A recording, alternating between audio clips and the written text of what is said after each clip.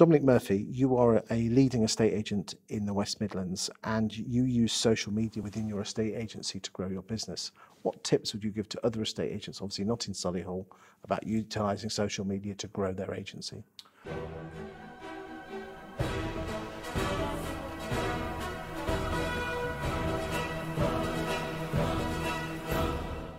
Um, I would encourage any agent, um, including those in Solihull. Um, I really would.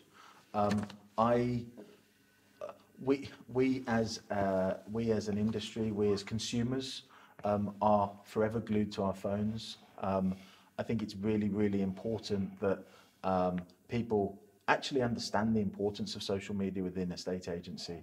I've been doing sneak peeks now for the last 26 weeks, I think it is, at filming, at point of you filming this.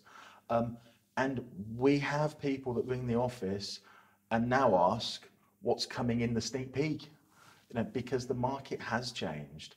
Um, we, we've, we've, we've hit a, a, a, a point in the market whereby property is selling or has been selling that quickly that people are missing out on the opportunities. So by the time that it gets to the portal, it's it's sold. So those people that are ringing in are probably people that have got houses to sell, so you're getting yourself more listings opportunities. We're just enc- yeah, yes, we are, but we're also encouraging them to follow us on Facebook and Instagram.